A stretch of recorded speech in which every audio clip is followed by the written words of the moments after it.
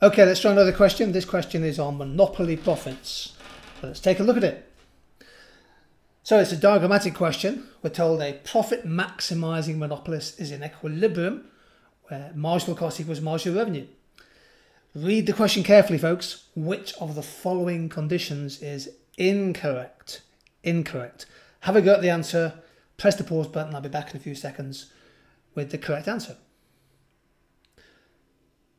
Okay, so which of the following conditions is incorrect? The right answer to this is D, revenue per unit equals B minus C. The secret to this, folks, is to go through each option in turn. Is the equilibrium output at OQ1? Yes, because that's where marginal cost intersects marginal revenue at point small e. Is the equilibrium price OP1? Yes, because you then draw up to the demand curve or the average revenue curve to find the price per unit. Is the abnormal profit equal to P1ABC1? Yes. Uh, the abnormal profit is the price per unit, which is P1 minus the cost per unit. We use the average cost curve to show that. So yes, indeed, that is the abnormal profit, also known as supernormal profit.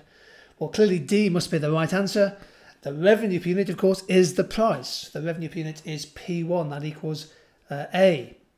B minus E is uh, is essentially the, the average cost minus the whatever. It's irrelevant. It's just clearly incorrect.